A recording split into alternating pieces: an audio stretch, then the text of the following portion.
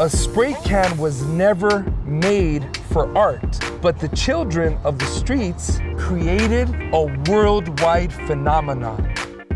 I was born and raised on these streets. Naturally, I was taught how to hold a spray can. If it wasn't for Carmelo Alvarez, the majority of us would have ended up in prison. Carmelo said, you can develop this into a life.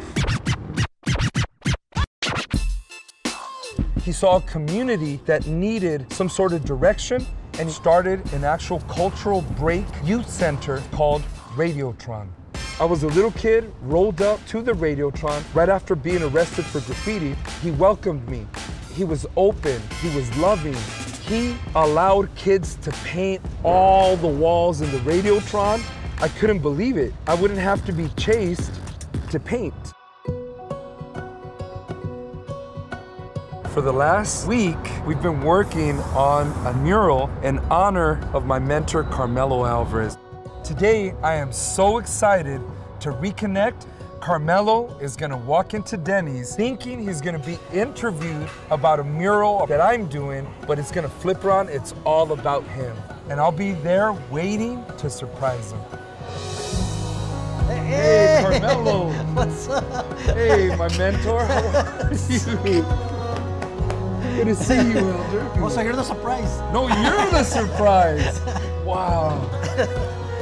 Carmelo, you thought it, it- this whole thing is about me, but it's actually an honorarium for you as my mentor and the mentor of thousands of kids in LA. You're make me cry. Appre- Appreciate you. Man cried too.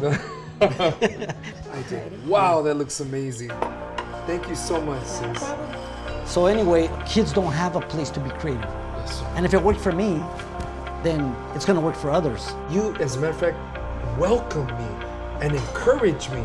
You held a space where we can go and see the latest guys that painted and see the latest jackets and the latest poppers and breakers. And the local gangs respected you. They went and they would hear what you had to tell them, but it was needed, Elder. It was needed. Yeah, it's still needed. I knew the kids were really hungry to have just a place to belong that was safe, that had an appreciation of their art, of who they were as people and as, as, as artists. I have a lot of hope in the youth. I think they're the light and they're gonna come together. I greatly appreciate you. I always will. There's a couple streets right up from here that links us, our history together. I wanted to show you a couple of things up the street, if you don't mind. Yeah. Well, good. Carmelo, this is your surprise. What? One of our greatest friends, my mentor, Carmelo Alvarez. Oh, that's amazing. Beautiful. Hey, who's that right there, man? I'm overwhelmed that he organized this. I'm just filled with joy and love and, and gratitude. Let's support more spaces for more youth to get off the streets and do something with their gifts.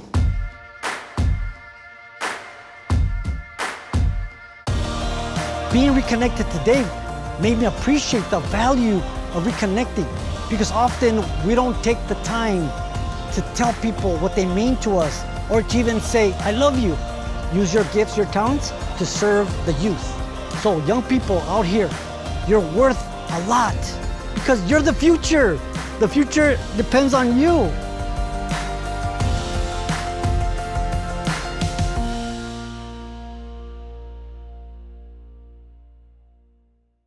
SoulPancake, subscribe.